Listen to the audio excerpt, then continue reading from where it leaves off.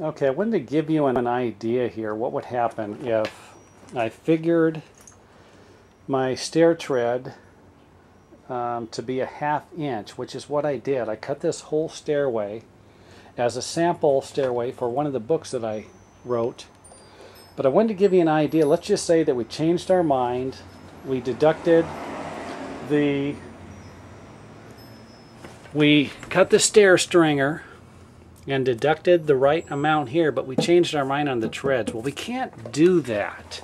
You need to you need to do get all your planning done first and don't switch your stair treads unless you're going to make the adjustments.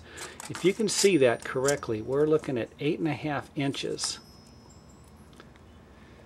by adding an inch and a half stair tread instead of my original half inch stair tread like I was thinking.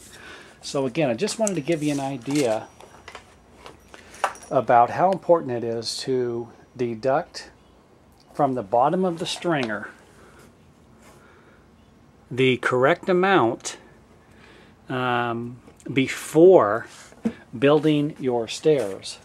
So can't change your mind in the middle of the process and I just wanted to give you an, an idea why you can't because you're going to mess everything up so make sure you, you uh, do all of your planning and designing first and then build your stairs.